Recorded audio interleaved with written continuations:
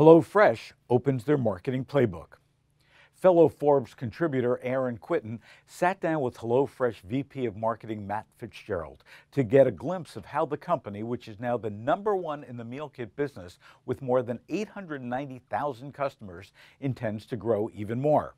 One key, according to Kwittken, is that HelloFresh seems to be very focused on creating content as a core part of its marketing strategy.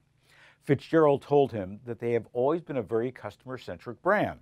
And what's been really fun with the rise of content is allowing our customers to play a participatory role in our content creation. They look to them, he said, and their social communities to identify the topics and components of home cooking and eating that are most exciting. A lot of times it's actually user generated, he adds. Kwittken broached how Amazon and Whole Foods are entering the meal kit business in a huge way and how will HelloFresh deal with that reality. The VP said that they feel confident that they're building a differentiated brand. We have this incredible direct to consumer feedback loop.